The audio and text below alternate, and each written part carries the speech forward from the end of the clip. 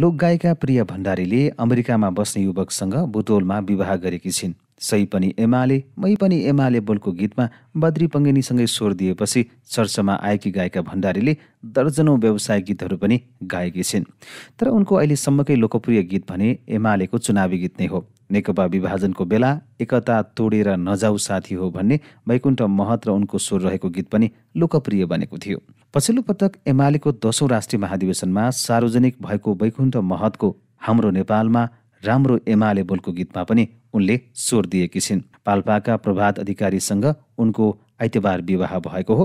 प्रियालाई आशीर्वाद दिन एमालेका नेताहरू खिमलाल भट्टराई लीला गिरी भूमेश्वर ढकाल अनि राष्ट्रियका उपाध्यक्ष यमराज पाण्डे लगायत बुटोल पुगेका थिए।